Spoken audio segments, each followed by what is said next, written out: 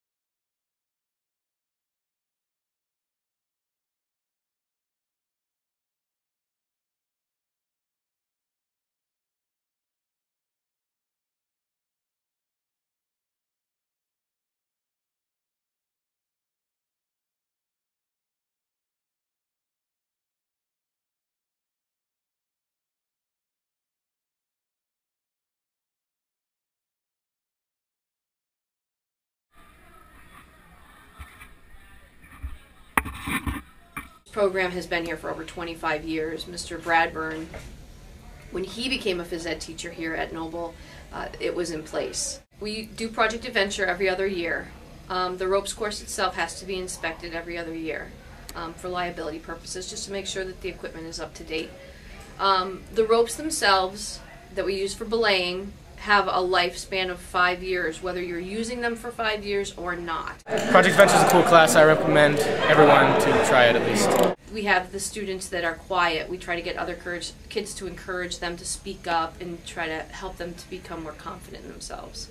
Project Adventure is fun because it's a break from all your just sitting in a classroom doing work and it's just fun.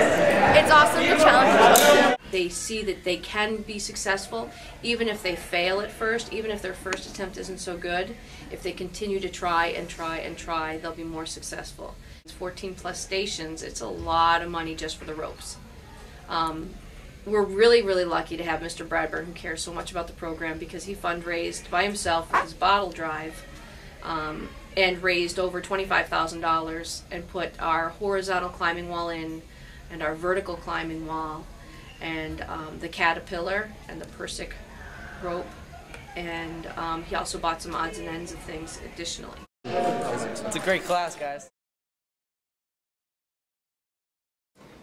The purpose of the Writing Center is to uh, make sure that we are a resource for students who want help with specific assignments, but more broadly to help students and guide them toward being better academic writers.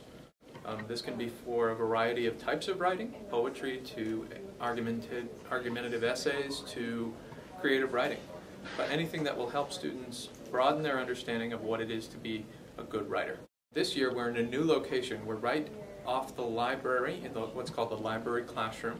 So when you walk into the Paul Johnson Library at Noble High School, it's your first right, right past the photocopier. You can come down to the Writing Center here in the library, or um, you could do an e-conference, which is online, and we can check over your paper like that. Uh, the Writing Center is a place where students can bring pieces of writing um, and get help uh, at any stage of the writing process, from brainstorming to the final polishing.